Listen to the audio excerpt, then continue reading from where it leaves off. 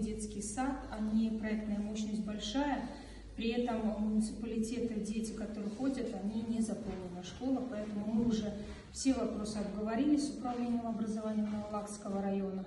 Но я думаю, что это будет только со следующего года. Этот месяц мы будем